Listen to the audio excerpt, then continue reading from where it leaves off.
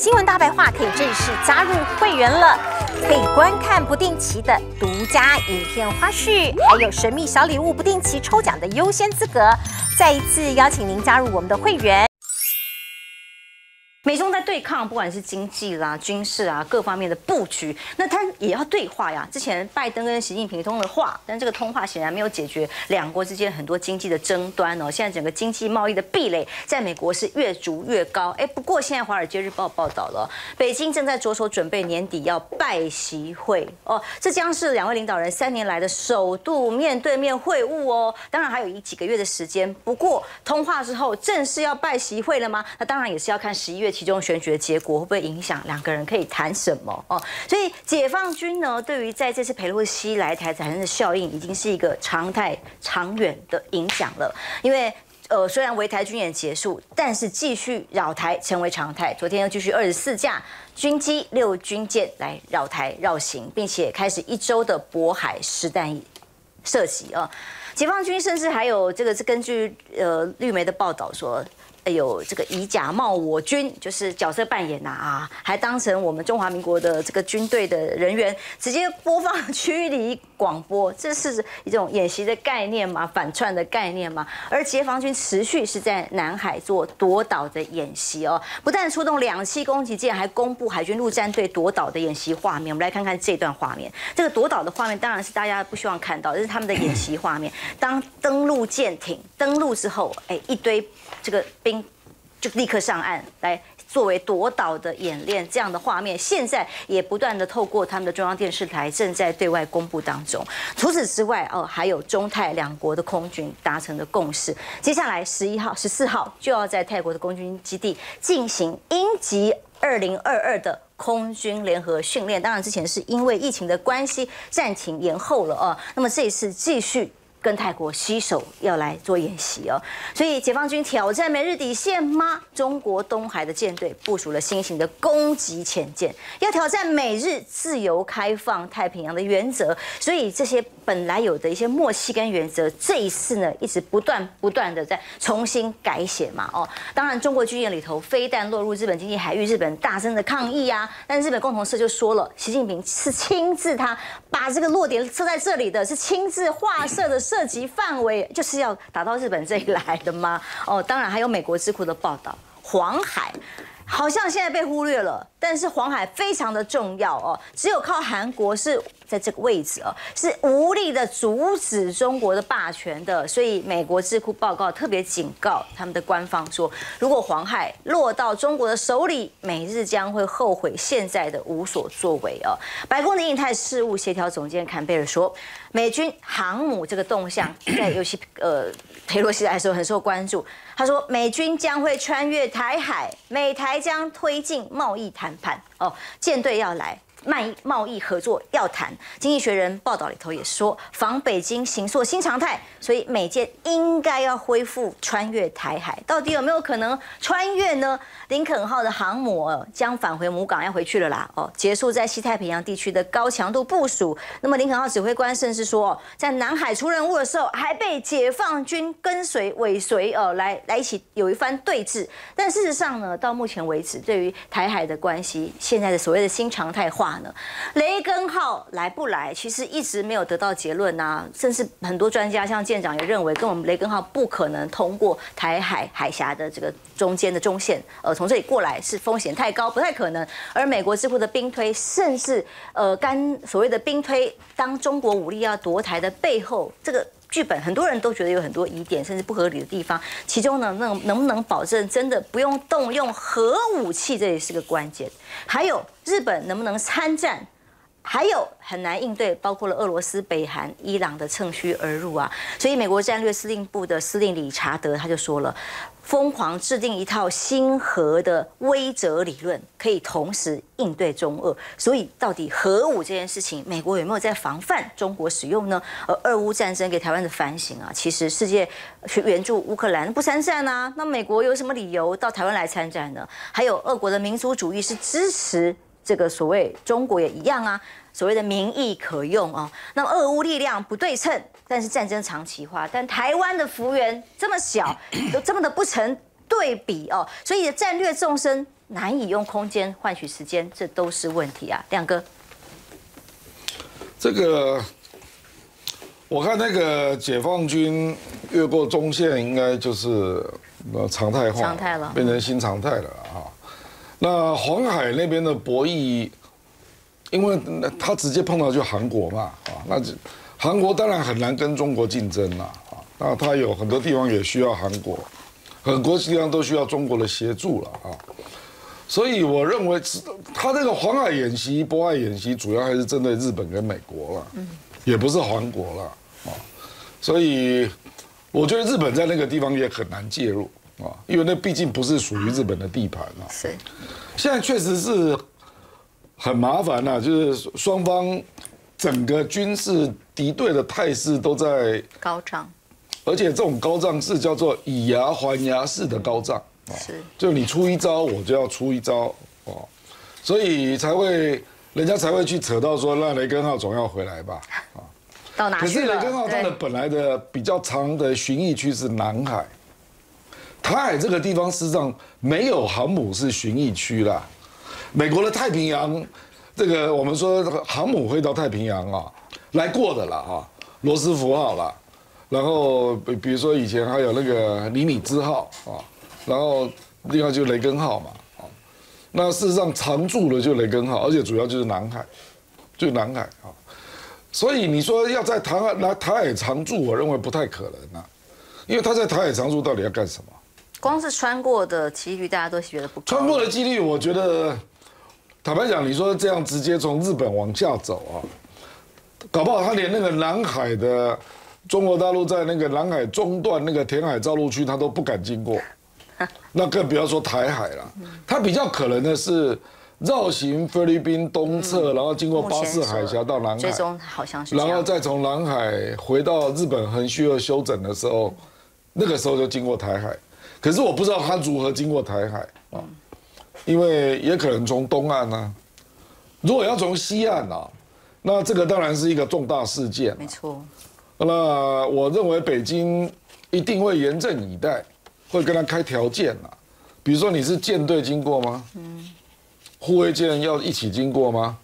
或者说你是单独一个航母，这个没有其他 cover 一个平台经过，那上面的舰载机是多少架，对不对？嗯或者你是不是要以这个无军舰无害通过的国际规则来通过 啊？嗯，说雷达不能朝向我这一边啊，等等等啊，还有中线你要距离多远？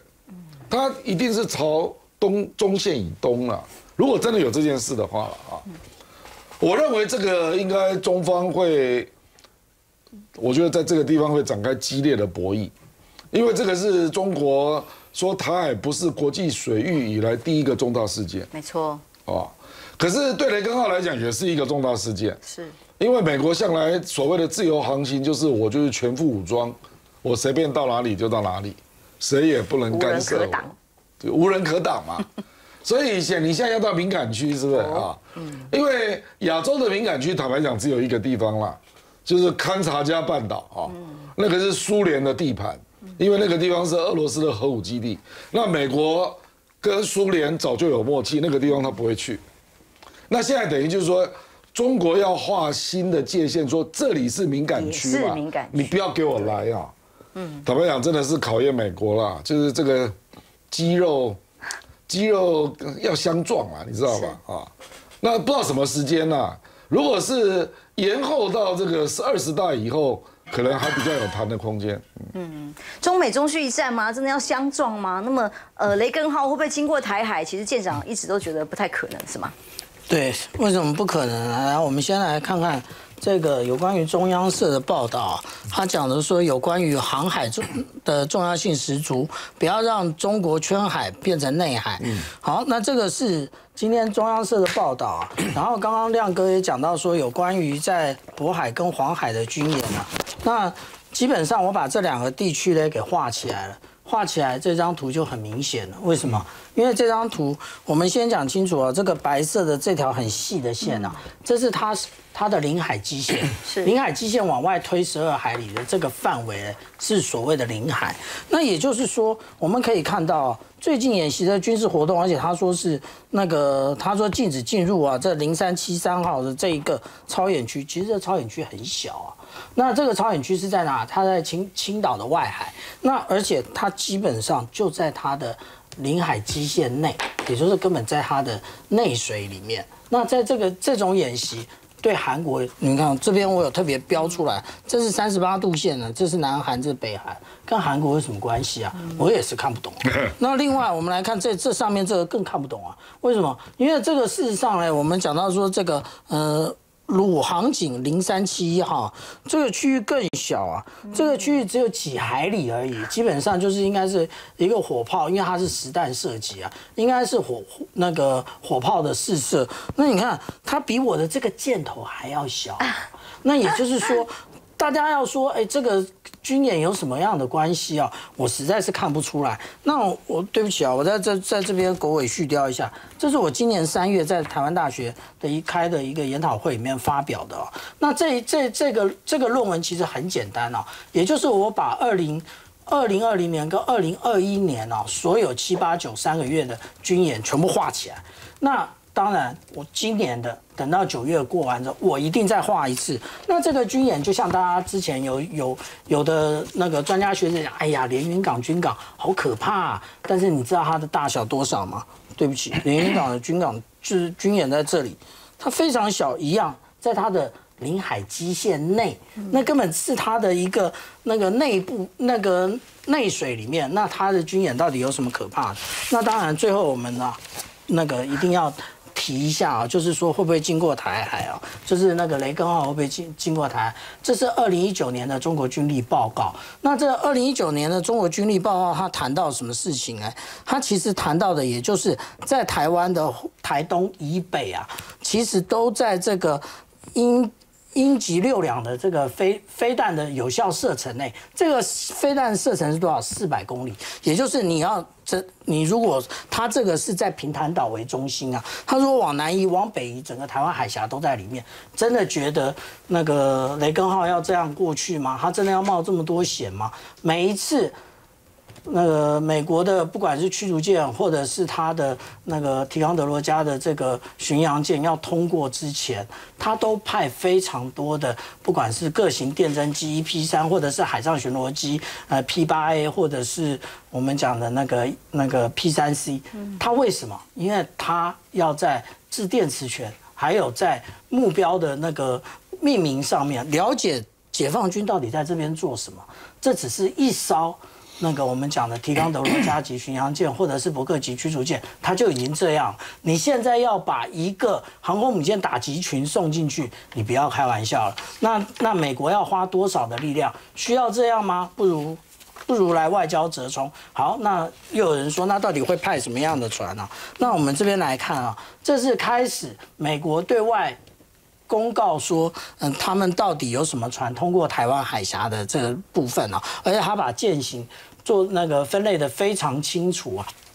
我们这就可以看到，它其实是二零一八年的时候，它其实有两次，其实不是单舰，它是双舰。那所谓的双双舰呢，那有的时候是两艘的驱逐舰，那也就是这边一个叉叉的部分；有的时候是一艘 CG，就是提康德罗加，一艘那 DDG 就是。呃，伯克级驱逐舰呢？那它最近一次是什么时候？最近是二零一九年四月之后，它都是单舰。那刚刚讲说，它如果其实啊，我们回头看啊，也就是英国的伊丽莎白女王号的这个航空母舰啊，穿越过巴士海峡之后，美国的航空母舰再也没有走过巴士海峡。不要讲台湾海峡，它连巴士海峡。都不过，都不都不走了。它走两个地方，一个是佛德曼水道，也就是切过那个菲律宾的内陆；另外一个从南海那个切过那个进入所谓的呃输入海的部分，也就是连连那个我们讲的，就是刚刚呃我忘了是呃郑东老师还是张阳老师讲。也就是他连这个，不管是储币、永暑、美交这三个交，美济交，他都附近他都不通过了。所以你说他要呃鼓起勇气啊，要要通过台湾海峡，我个人的研判是可能性很低，风险高了。这个损失万一有个损伤，风险太高啊。是只要说怎么看？哎，你被报道说年底要拜习会啊？呃，根据坎贝尔的说法，就是说他坎贝尔其实是没有呃否认，但也没有承认，他只是重复了一次上一次在拜习通话之后的一个新闻发布，就是说双方的团队正在研究可行的时间跟地点，但是呢，他不没有他不愿意进一步透露。哦，那其实坎贝尔以前呢，在奥巴马时代啊，被认为是一个嘴巴很大的人，他讲话往往常常是，呃，有时候会被认为是超过授权了。不过这次我感觉他改，他变了，他保变得守保守了很多。哦，那我觉得坎贝尔讲话其实是有值得有值得可以讨论的这个地方哦。有两个，有我觉得有两个两个两件事情可能。台湾有蛮多朋友可能会觉得很振奋，但是这两件事情呢，同时也有它让我们觉得担心的地方。第一个，他讲到就是呃，美国的这个军舰会再经过台湾海峡。哦，他说这是他们的航行自由计划、航行自由行动。那但是我觉得这个新，如果你觉得对于这样子的一个发布呢很振奋呢，可能你就要注意了。为什么呢？因为这一个消息本身也有它的一个让我们担心的地方。这里头讲到了，就是其实坎贝尔讲这句话之前，有两个人都讲过了，一个是八月四号科比啊白呃国安会的这个发言人，另外一个是谁呢？是美国的助理国防部长，叫做 Carl。他在八月八号也讲过了，所以说你看啊，同样一个行动，目前我们还看不到他的行动的进行，但是呢，已经讲了三次了。所以只闻楼梯响，不见人下来。哦，过去其实很多次是什么？是他传件通过以后才证实。才证实。对。现在是一再告诉你，当然他有他的一个法律的意义啦。他就是要去否认，因为大陆在这个台湾的门口军演嘛，他就是要将台海内海化，所以他现在就是宣布说，哦，台海是一个国际水域，它是有这个意义。可是问题是行动呢？行动没有跟上来。他说了好几次，但是还没有行动。所以，呃，我相信他是在跟大陆方面有进行激烈的博弈了。当然，他也是在找寻一个不会引起双方直接冲突的一个可能性。哦，所以我认为这一点地方是值得担心的。第二个，我他讲到另外一个，我想很多朋友会很关心的，就是他讲到了什么呢？他讲到，呃，美国即将会发布一个非常 ambitious、非常有企图心的一个台美贸易谈判的架构图，台美贸易谈判的路线图。那这个呢，其实很多人会觉得说，哎，是不是美国要跟台湾签自由贸易协定呢？哦，那我觉得这个我要提醒大家，不可能的。第一个，我们要注意到，就是说，其实拜登政府现从过去这一两一年多以来，他跟拉丁美洲也好，跟亚洲也好，都展开了一些贸易倡议。那他的这些贸易倡议呢，引起国会的很大的反弹，因为觉得他们没有充分的咨询国会，没有让国会有效的监督。所以现在共和党已经放话了，如果年底共和党取得国会多数，他一定会介入这些贸易倡议。这些贸易倡议在自由贸易的倡议者里头的这些人看起来呢，觉得说，哎。这个其实没有真正的去降低关税，没有真正的扩大市场进入，但是在国会来看，就觉得你没有给国会足够的一个监督的空间。可是我觉得还更进一步，其实值得我们担心的事情是什么呢？就是说这些贸对台湾来说，台湾真正要的并不是实质的内容，台湾要的是名。台湾要的是一个自由贸易协定，不要实质内容，只要名义。为什么呢？因为台湾最需要签贸易协定的是东协跟欧洲，而他们都因为顾忌大陆的立场，所以不敢签。那如果美国第一个，他们其他国家就就比较愿意跟进。可是现在，因为美国的这个 TPA 啊，就是快速通关法案，现在根本已经失效了。去年七月就失效了。然后现在它也不是一个真正的一个自由贸易协定。你看坎贝尔讲里头有没有讲说未来会导向什么样的成果？没有。哦。所以这是台湾那个成果工具就好了。对，那个成果才是台湾真正最需要的。可是呢，现在看起来是看不到。是，的确哦，台湾在这个合作实质内容上看不到，只要一个宣传工具吗？这个我插一句话，还是因为台湾并没有参加那个印太经济框架啊。是。那如果说美国跟台湾有给台湾特别的好处，你认为那些国家会没意见吗？